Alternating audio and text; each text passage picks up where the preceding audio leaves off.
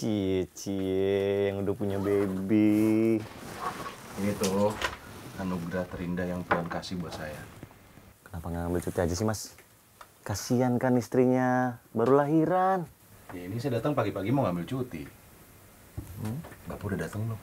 Apa, Bos? Udah, barusan. Oh ya, saya mau minta tolong sama kamu. Ini tolong di eh, kopi 10 lembar ya, 10 lembar. bolak-balik. Sama rapin meja saya. Jangan ada yang dipindah-pindahin. Siap.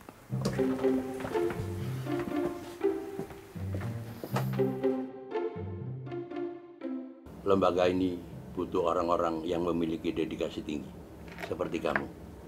Terima kasih, Pak.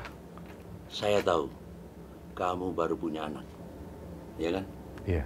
Tapi ini lebih penting, karena ini tugas negara yang harus kamu tunaikan sebagai anak bangsa. Tugas apa ya, Pak? Besok lusa kamu berangkat ke Papua, ya. Ah, mengunjungi lokasi yang akan dijadikan proyek pembangunan jalan di sana. Mungkin kamu butuh waktu tiga minggu untuk riset di sana. Tiga Pak. minggu. Iya, ya. Cuma kamu yang bisa saya percaya. Siapa lagi?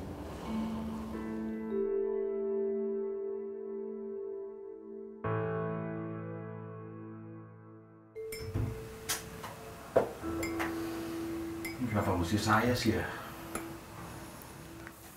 Itu berarti sampean yang paling dipercaya sama Pak Bos.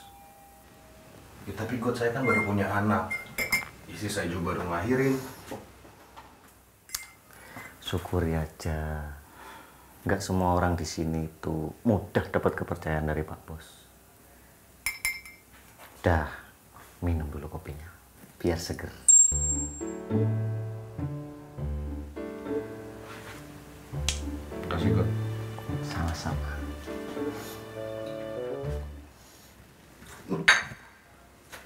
Kenapa pahit banget? Kesempurnaan rasa kopi itu berawal dari pahitnya. Seperti hidup. Nggak harus selalu manis. Atur buat atur. Bilang aja lupa naruh gula. Maaf. Tuh kan?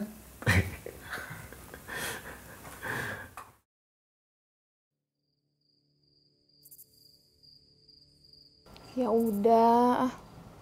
Mas berangkat aja. Jangan takut ngelepasin. Yang terbaik itu nggak akan pergi. Ya aku nggak bisa ninggalin kamu. Kamu baru lahiran. Biar ibu sama ayah aja nanti yang jagain aku di sini. Tetap aja sayang. Oh, aku kepikiran kamu, kepikiran Rafli. Mas, kan bisa video call juga.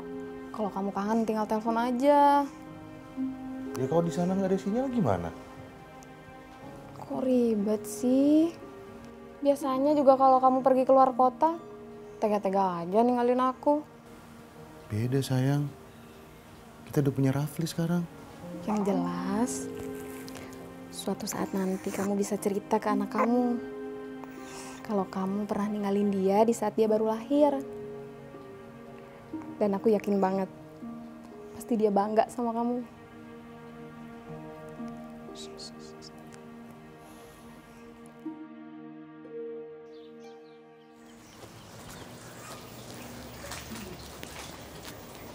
Kamu yakin aku tinggal? Mas, udah. Asal kamu tahu aja, rasa berat aku ditinggal kamu nggak ada apa-apanya kalau dibandingkan sama istri tentara yang mau ditinggal pergi ke medan perang.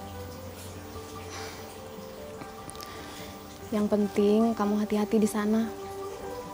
Jaga kesehatan. Iya.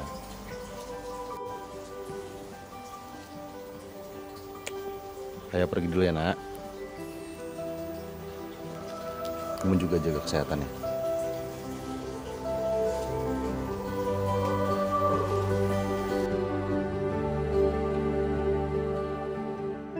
Mungkin ini saatnya saya katakan, jangan tanya apa yang negara berikan kepada kalian. Tapi, tanyakan apa yang telah kalian berikan pada negara ini.